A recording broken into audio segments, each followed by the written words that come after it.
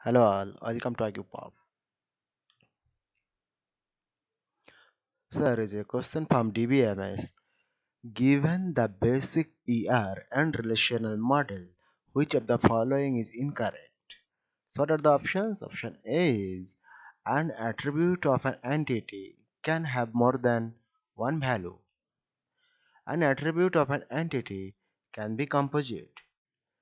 Number option C if a row of relational table an attribute can have more than one value. In a row of relational table, an attribute can have exactly one value or a null value. Now if I look at an entity, say employee is an entity here and the, the entity is having these many attributes, right? And you can see here date of birth, employee ID, name, sex, address and salary. Now name is a composite attribute. It has f name, uh, first name, initial and last name. And here address and address may be multi-valued attribute. Why it is multi-valued? Valued because one employee may have multiple addresses. Right. Now look at the table if I create the table for this entity the table will look like this. See DOB employee ID and the composite attribute is split into three different columns.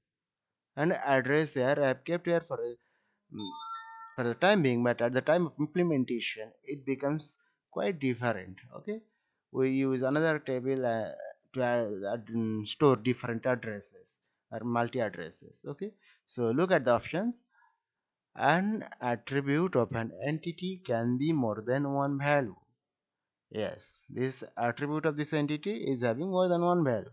This is true or correct. An attribute of an entity can be composite.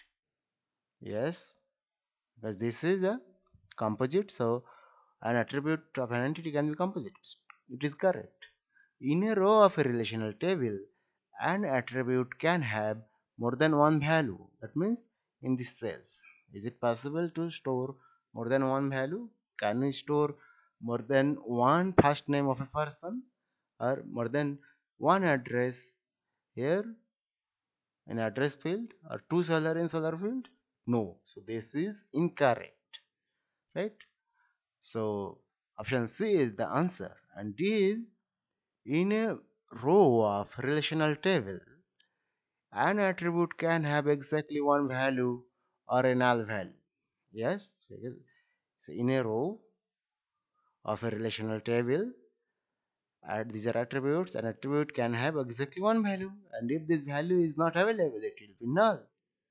Okay, so correct answer is C. Thank you for watching. Like, share, and subscribe. Pop.